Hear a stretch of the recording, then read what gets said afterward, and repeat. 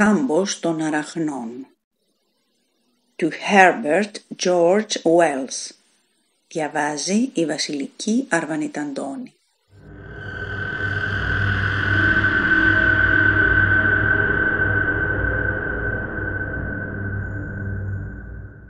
Οι τρεις καβαλάριδες στάθηκαν και άρχισαν να κοιτάζουν με βλέμμα χόρταγο τον απέραντο κάμπο που απλωνόταν μπροστά τους.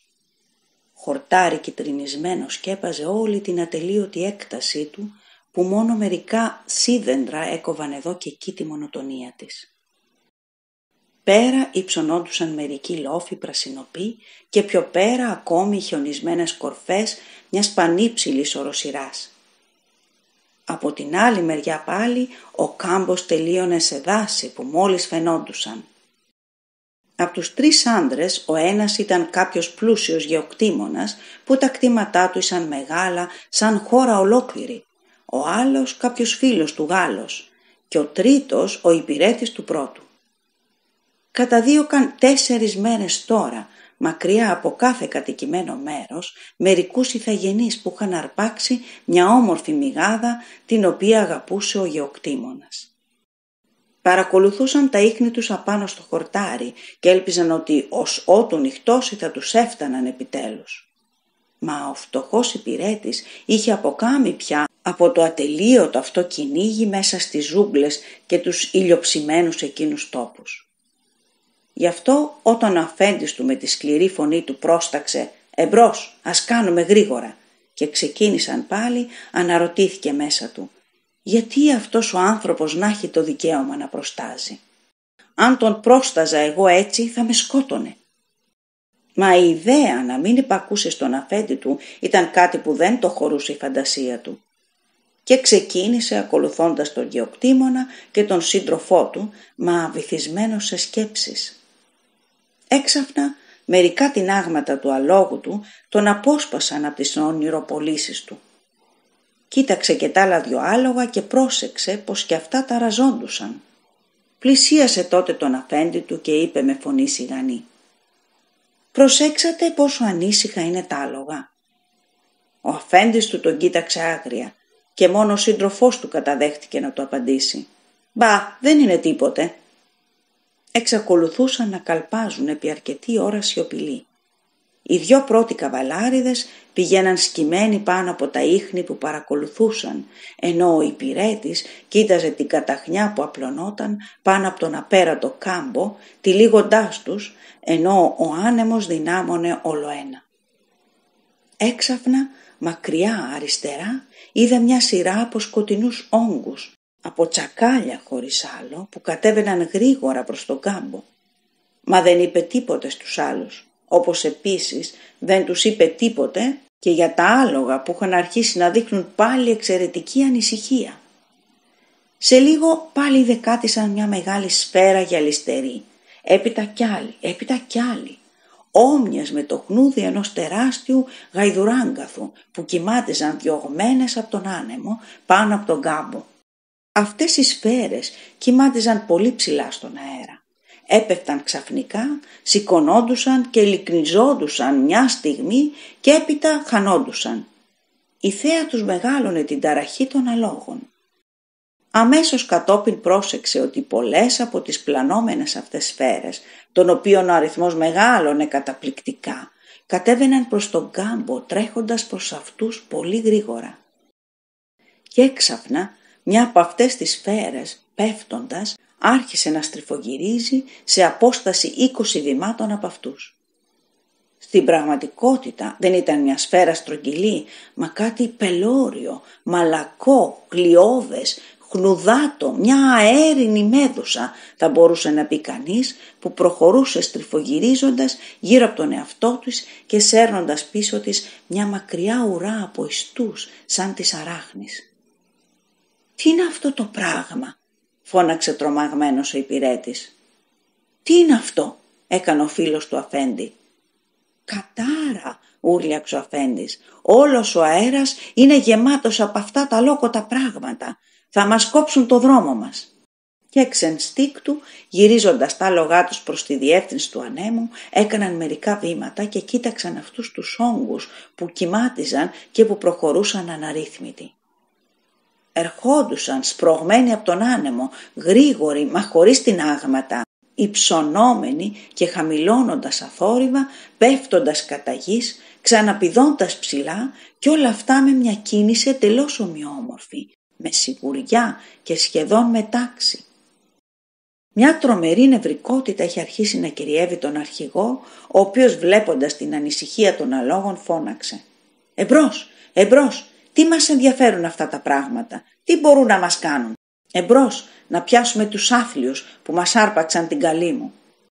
Και άρχισε να βλαστημάει εναντίον του αλόγου του που αρνιόταν να προχωρήσει και να τραβάει μόλι του τη δύναμη τα χαλινάρια.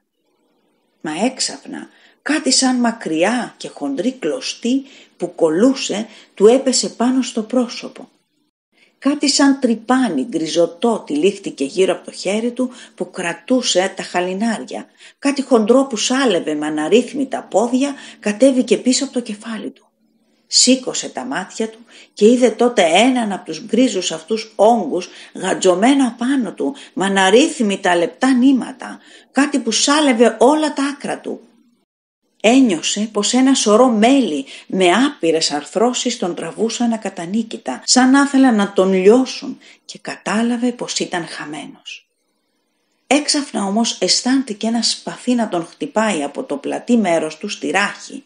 Είδε το ατσάλι του να λάμπει πάνω από το κεφάλι του, σχίζοντας και ξεκολώντας από πάνω του το τερατώδες εκείνο πράγμα το οποίο κύλησε κατά γης. Ο φίλος του είχε πέμπει πάνω στην ώρα χρησιμοποιώντας το σπαθί του και τον είχε σώσει. «Αράχνες» του φώναξε συγχρόνως. «Όλα αυτά είναι τεράστιες αράχνες. Κοίτα, κοίτα». Ο γεωκτήμονας κοίταξε τότε στη γη ένα πράγμα κόκκινο που εξακολουθούσε, αν και μισολιωμένο, να συστρέφει τα μέλη του. Και όταν ο φίλος του του έδειξε μια άλλη αράχνη που ορμούσα πάνω τους, τράβηξε το σπαθί του. Στην άκρη της κοιλάδας οι αράχνες σχημάτιζαν τώρα έναν τείχο. «Ας περάσουμε ανάμεσά τους», ούρλιαξε ο υπηρέτης. Και με το θάρρος που δίνει η απελπισία όρμησε μπροστά χτυπώντας και σχίζοντας με το σπαθί του τους ίσκιους που σχημάτιζαν οι αράχνες. Με την ορμή μάλιστα που είχε έπεσε πάνω στο άλογο του συντρόφου του αρχηγού και έριξε κάτω ζώο και αναβάτη. Τότε μια πελώρια αράχνη άρχισε να προχωρεί προς τα εκεί, απλώνοντας τα τερατώδη πόδια της.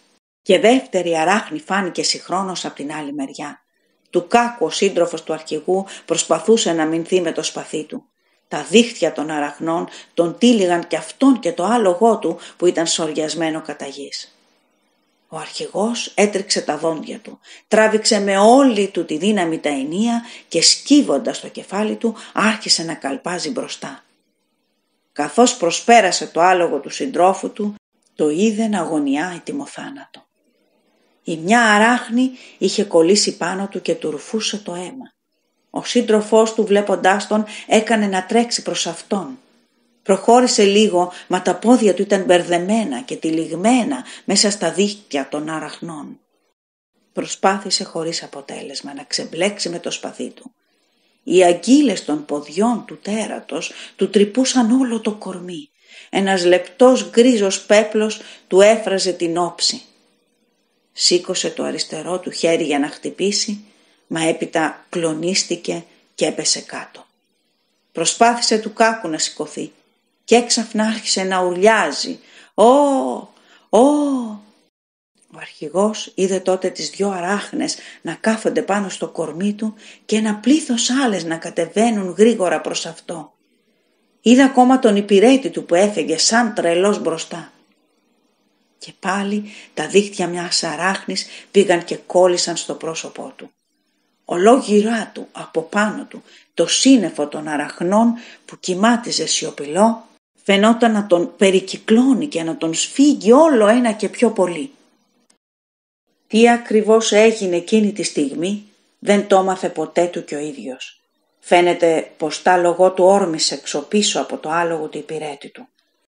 Έπειτα από ένα λεπτό κατέβαινε με ηλικιώδη ταχύτητα την κοιλάδα χτυπώντας μανιασμένος το σπαθί του στον αέρα. Κι ολόγυρά του, φερμένες από τον άνεμο, οι τερατώδεις αράχνες ορμούσαν. Κλιπ, κλαπ, κλιπ, κλαπ. Ο αρχηγός, χωρίς να νοιάζεται για τη διεύθυνση που ακολουθούσε, με τον τρόμο ζωγραφισμένο στο πρόσωπό του, κοίταζε πότε δεξιά και πότε αριστερά, με το σπαθί και το χέρι έτοιμα να χτυπήσουν. Καμιά εκατοστή μέτρα μπροστά, ο υπηρέτης του κάλπαζε κι αυτό σαν τρελός. Έξαφνα ένα βαθύ χαντάκι, μια τάφρος παρουσιάστηκε μπρος στα πόδια του αλόγου του αρχηγού και εκείνο, καθώς την πηδούσε, τον τίναξε κάτω στο βάθος της.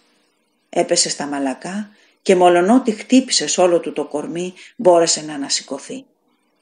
Ήψωσε τότε τα μάτια του. Οι αράχνες περνούσαν από πάνω, καταδιώκοντας το άλογο. Σε λίγο, ησυχασμένος ότι τα σμήνη των αραχνών δεν μπορούσαν να κατεβούν εκεί κάτω, κάθισε σε μια πέτρα και βυθίστηκε σε σκέψεις, από τις οποίες αποσπάστηκε ακούγοντας βήματα κοντά του. Σήκωσε το κεφάλι του και είδε τον υπηρέτη του που προχωρούσε αργά. «Ε, λοιπόν», τον ρώτησε. «Τον εγκαταλείψατε το φίλο σας», τον ρώτησε και εκείνος. «Τι να κάνω, το άλογό μου με παρέσυρε μπροστά και μένα το ίδιο», είπε ο υπηρέτης και σε λίγο πρόσθεσε. «Είμαστε δυο δειλοί, αφού αφήσαμε τον άνθρωπο να τον φάνει αράχνες». Ο αρχηγός δάγκωσε τα χείλη του και μουρμούρισε. «Μη με λες δειλό. Είσαστε ένας δειλός σαν και εμένα. Ποτέ μου δεν θα φανταζόμουν ότι θα τον εγκαταλείπατε.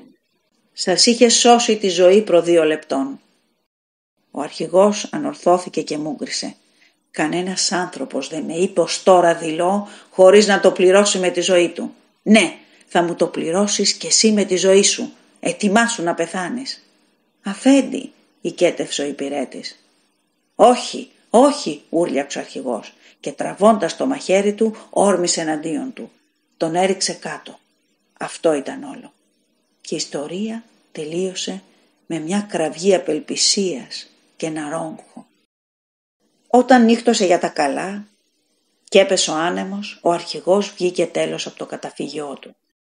Οι αράχνες είχαν χαθεί πια. Άρχισε να προχωρεί μέσα στον απέρατο κάμπο χωρίς και αυτός να ξέρει που πηγαίνει. Καθώς το φεγγάρι ανέτελε, ανασκύρτησε βλέποντας έξαφνα μπροστά του μια κατασκήνωση. Όρμησε προς αυτήν, μα μόλις έφτασε εκεί τραβήχτηκε πίσω ουρλιάζοντας απέσια. Τρία πτώματα ήσαν μπροστά παραμορφωμένα, καταματωμένα, καταφαγωμένα. Το ένα ανήκε στη μηγάδα που αγαπούσε και τα άλλα δύο στους θαγενείς που την είχαν απαγάγει και τους οποίους καταδίωκε.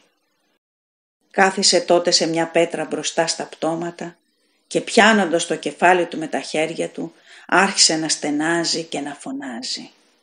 «Οι αράχνες, οι αράχνες!»